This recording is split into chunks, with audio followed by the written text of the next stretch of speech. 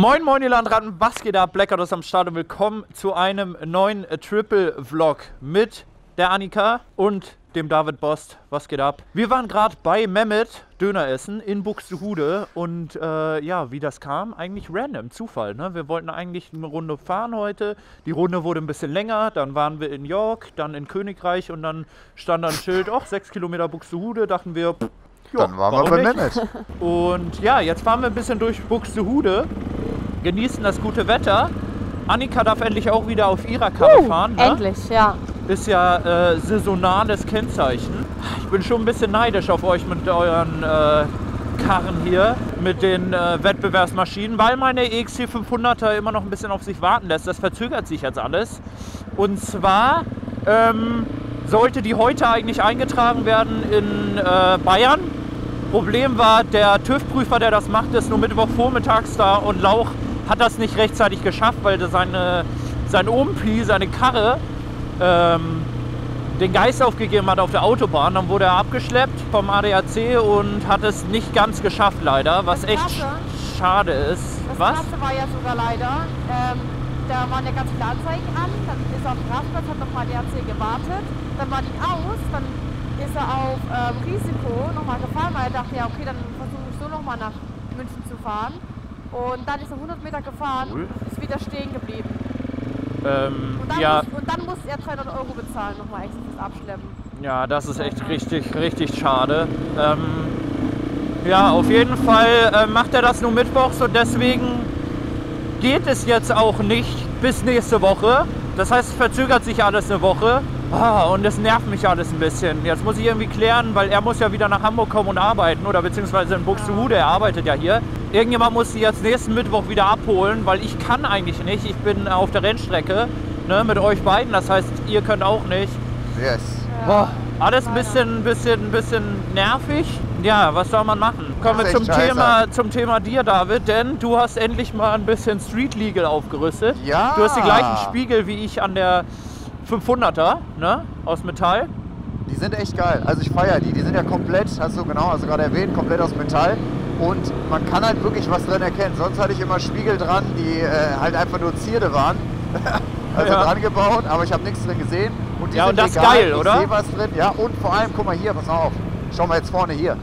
Ich habe Laufblinker. Schau dir das mal an. Ach so. Das? Das setzt echt. Krass, die habe ich, doch- die hab ich doch auch. Geil, Äh, oder? an meiner alten SNCR habe ich die auch. Ich wusste gar nicht, dass ich die bestellt habe. Die waren einfach dann äh, da und dann meint Niklas so, ja, das sind ja Laubblinker. Und ich so, was? Niemals. ist ja richtig random. Oder? Ja, Jetzt und hinten. Heck hast du neues und funktioniert wieder alles. Das ist geil. Ich, da hat man doch auch, sag mal ehrlich, da hat man doch ein geileres Gefühl, oder? Man hat direkt so ein geil, ich bin legal unterwegs, oder? Ey, 100 Prozent. Ich fühle mich Selbst wenn es gut. nur 15 Euro sind für Spiegel, man hat einfach keinen Bock, irgendwie Stress mit den Coppers zu haben, irgendwie äh, angehalten zu werden und so. Wenn man da full Street Legal ist, dann ist es immer geil, oder? 100 Prozent. 100 Prozent. Deswegen habe ich es ja auch gemacht. Ich meine, auf die 15 Euro, da, da kann ich getrost scheißen. Ähm, Abgehoben? äh, ja, also jetzt mal gekommen, for Real Talk. Ja. Wirklich. Ne? Also wenn ich jetzt ohne Debiter fahre und dann 120 zahlen muss, das ist schon eine andere Hausnummer. Aber 15 Euro, So wie er da vorne, Alter, guck, hör mal, wie laut der ist mit seiner 125er. stimmt, der ist mit einem MIF GP unterwegs. Den haben wir gerade schon bei Mehmet gespottet. Übel geil, hatte ich damals auch. Aber wenn man dann erstmal 18 ist und ein großes Motorrad hat, dann denkt man sich so, geisteskrank, was habe ich da für eine peinliche äh, Scheiße abgezogen. ja. Wo fahren wir denn lang? Geradeaus? Oder links? Ja. Oder? Geradeaus. Okay, na dann einfach hier rüber. Da kennen wir nichts, einfach Vollgas. Rüberziehen und Vollgas. Ich muss sagen, Buxtehude ist eigentlich echt schön, oder? Ja, es ist halt sehr ländlich, ne? Sehr, sehr entspannt, aber bis jetzt, also ich muss sagen, ich finde es nicht hässlich. Ja, stimmt. Äh, bevor ich hier war, habe ich es mir auch irgendwie schlimmer vorgestellt. Und ich finde tatsächlich ähm, das immer voll geil, wenn man in, in Orten unterwegs ist, ähm, die man aus Videos kennt. Ob das jetzt in München ist und man erkennt die Stellen von Moji wieder oder in Berlin und erkennt die Stellen von Kudowu aus den Videos oder Kawakyu oder so, ne? Das finde ich auch richtig Das cool. habe ich so oft und ich, ich finde das voll geil, wenn ich so denke, ah ja, krass, an der Stelle war das und das oder hier ist Knossi mit, mit Montes Auto lang gefahren und so weiter. Also Buxtehude ist ja eigentlich so, so ein kleines Dorf in Norddeutschland, was keiner kennt. Und Ja. nur weil Monte hier wohnt, hat das so einen extremen Stellenwert. Ne?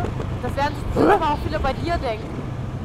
Auf jeden Fall mit Hamburg, weil ihr fahrt ja auch überall in Hamburg lang. Was? Ach so, ja, ich wollte gerade sagen, Hamburg, äh, Digga, zweitgrößte Stadt Deutschlands. So, ja, das ist ja, oh, das kennt ja auch eigentlich keiner. Nein. ja, ja, ich weiß, ich weiß, wie du es gemeint hast. Natürlich, genau.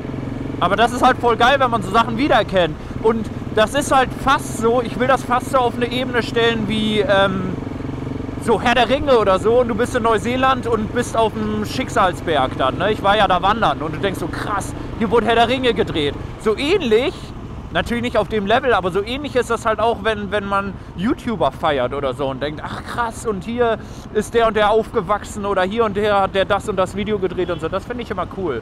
Total, total. Ich glaube, Niklas äh, hat ganz oft damit zu kämpfen, um ehrlich zu sein. Weil wir filmen ja ganz oft immer in Krefeld vor seiner Garage. Und dann hat er halt auch immer Fans da. Und dann sehen die so, oh, guck mal hier, da haben die das Motorrad von Blackout auseinandergebaut und von, äh, von David. So, das ist halt echt krass, ne? Weil man erkennt das ja direkt, wenn du dran vorbeigehst, zu Fuß. Normal. Oder jetzt halt Mehmet Döner. Mehmet Döner Ja. war geil, weil das kannte ich aus dem Stream. Ne? Da war der Livestream hier mit Inscope unsympathisch und dann habe ich es jetzt gesehen und der schmeckt dann auch gefühlt besser. Das ist so ein bisschen Placebo-Effekt. Also er war wirklich lecker, aber er schmeckt durch diese Bekanntheit, die man hat und dass andere Leute das eben so feiern, schmeckt es irgendwie nochmal geiler. Ne? Ja, das kleine Bild von, von Monte hast du drin gesehen mit Mehmet im Arm. habe ich sogar eine Story Das- gemacht. Das ist so geil. Witzig. So witzig. So witzig. Ja, Er supportet halt Buxtehude, ne? muss man sagen. Was hast du gerade gesagt? Er supportet Buxtehude, muss man einfach sagen. Ach so, ja, total. Aber trotzdem äh, hat er sich jetzt, glaube ich, ein Haus woanders gekauft, ne? Echt? Außerhalb von Buxtehude, ja. Krass, wo denn? Auch noch hier in der Gegend oder? Ja, hat er nicht gesagt und wird er wahrscheinlich auch nicht sagen. Und ähm, das ist ja das Thema rechtsrum. Das, ähm, er will ja so ein Gaming-Zimmer machen und Raute, ne? Der eine oder andere kennt ja Raute vom RS3 aus Videos mit äh, David, mit mir, mit Annika äh, oder mit der R1, die auch auf den Messen stand. Äh, die Silver Surfer. Ähm, der wollte ihm ja, der ist ja sanier, also der macht ja Haussanierung und der wollte ihm das äh, bauen, aber es kommt jetzt tatsächlich, glaube ich, nicht dazu, weil Monte echt so aufpasst, wem er das zeigt, wo er wohnt, damit Ja, halt nicht wieder ja. sowas passiert und das kann ich halt auch voll verstehen, weißt du, das nervt uns ja schon, aber andere, Digga, mit so einer Reichweite, ist, also Leute wie Unge sind nach Madeira gezogen aus dem Grund, ne? Weil, Ist aus ähm, dem Grund nach Madeira Nein, nicht nur, aber natürlich auch. Also er meint halt, dass es trotzdem auch sehr schön ist, dass er mal in Ruhe einkaufen gehen kann und so. Weil als er in dieser krassen Hype-Phase war, vor ungefähr zwei Jahren oder anderthalb, da hat er ja noch in Hamburg gewohnt, auch in der Hafen City. Und er meint, er konnte nicht rausgehen mehr. Ähm, Das hat halt alles so seine Nach Null. äh, Vor- und Nachteile, ne? Ja. Es ist halt immer, ich sag immer so 90% Milchtankstelle, Lul.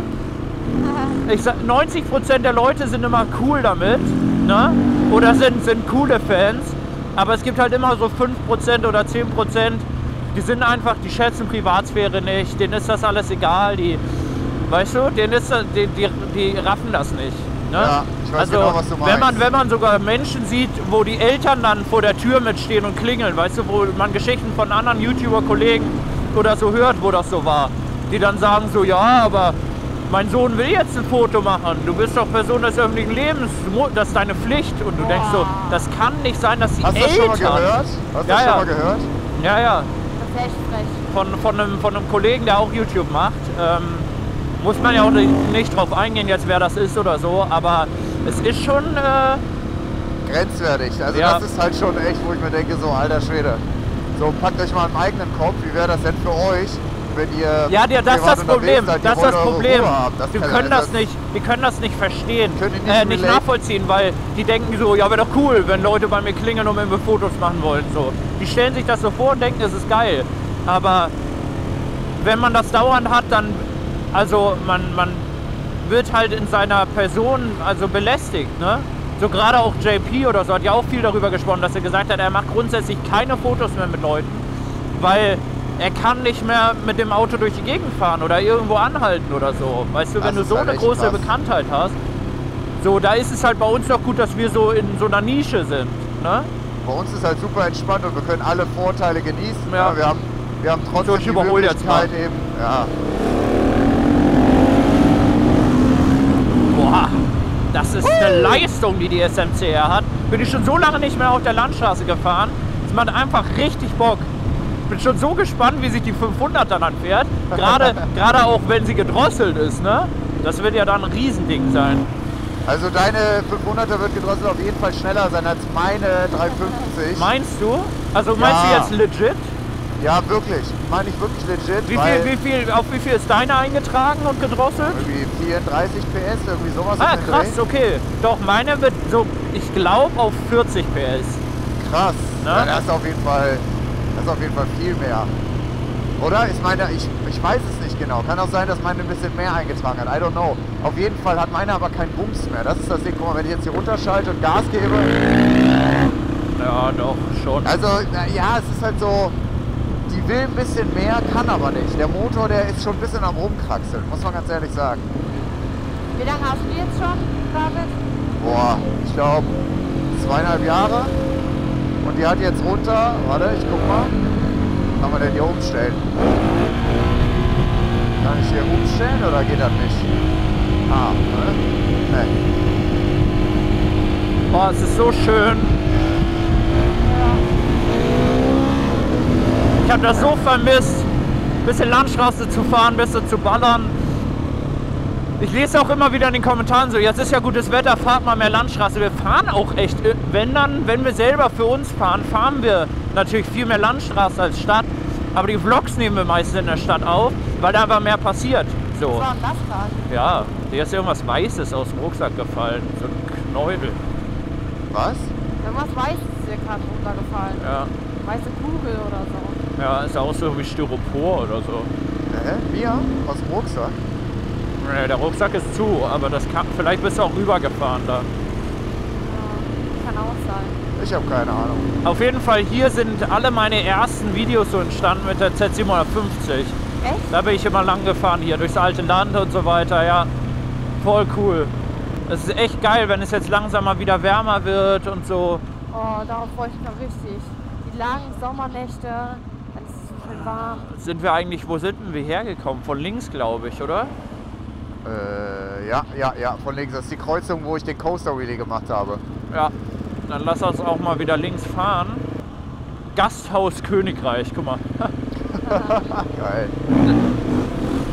Der Ort heißt ja auch Königreich hier.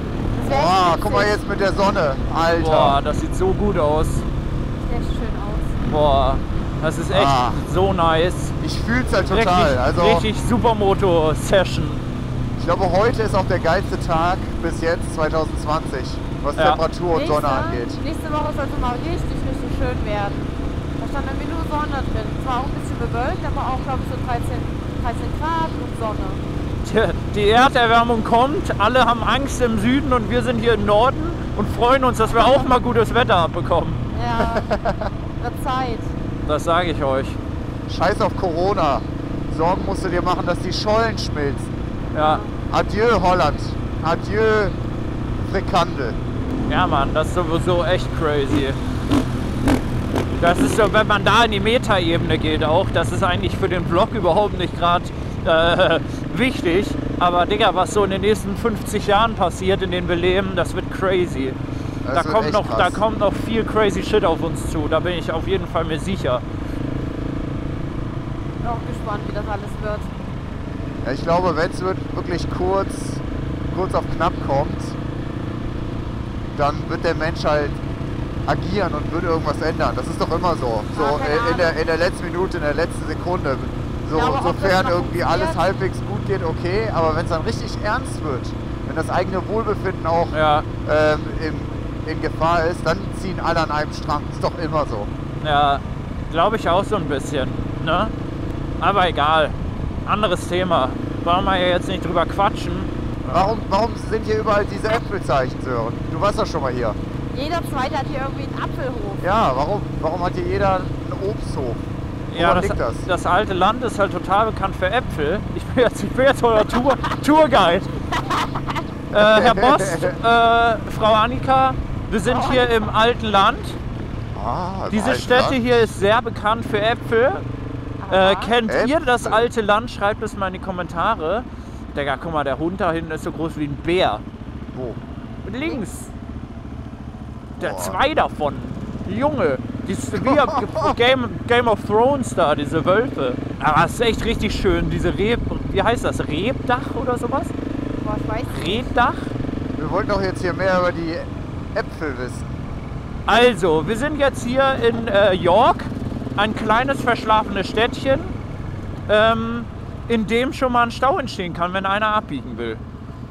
Das ist, das ist eine Ex Extremsituation hier, das sage ich euch. Jetzt geht da noch eine über die Straße. Sowas haben die hier seit 1987 nicht mehr erlebt.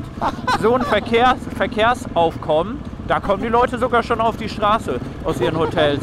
Wundern sich, was ist denn hier los? Noch ein Motorradfahrer mit einer. Triumph. Ja. Street Triple. Ja, aber ehrlich, es ist auch klar, dass so viele unterwegs sind bei dem Wetter, ne? Klar, von ausnutzen. Digga, hat er, hat er, hat er Landrattenhandschuhe an? Das sah gerade voll so aus. Das wäre witzig. War es aber nicht. Ich glaube, es waren so Skeletthandschuhe. Ja, wir haben ja gerade eine Story gemacht, ne? Vielleicht sind jetzt alle auf dem Weg zu Alle. äh, Mehmet. Alle. Alle. Alle.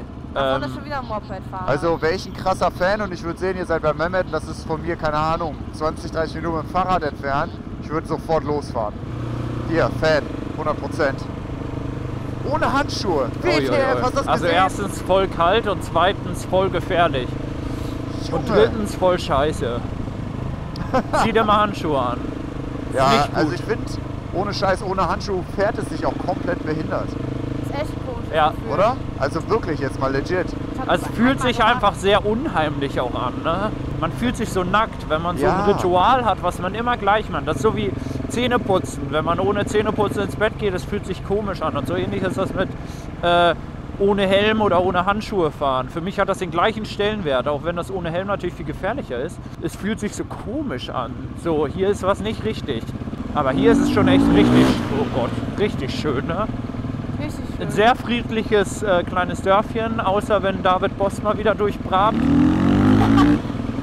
Hier rechts. Das kann schon mal hier rechts, das kann schon mal. Nee, wie hier rechts? Ja, zur Ach so, du willst Windmühle. zu der Windmühle. Oh, Ja, wir können ja hier mal die Bikes abstellen. Man kann auch safe da oben drauf. Da sind doch so Bänkchen, oder? oh, ich Rauch? kratzt mir hier voll durch meine Kombi die Carbonteile. Oh nein, Annika. Ja, da müssen wir Boah, das ist auf jeden Fall stehen sehr schön. lassen. Oder? Ja. Alter Schwede. Ich hoffe, euch hat die kleine Landstraßentour da. Ach so. Ja, das war mein Tuch von Mehmet Döner. Da hattest du noch eins. Ja, ich glaub schon. Habe ich ja nicht benutzt. Wir machen jetzt ein paar Fotos und ein paar Stories. Ähm, checkt gerne Instagram und TikTok aus. Ich äh, heiße überall Blackout. Mehr gibt es in dem Video nicht zu sagen. Wenn es euch gefallen hat, wäre ein Däumchen wie immer ein Träumchen. Checkt den Merch aus. Und ja, sonst sehen wir uns übermorgen im nächsten Video. Bis dann. Macht's gut. Peace. Und haut rein, ihr dann dran. Pa, pa, pa.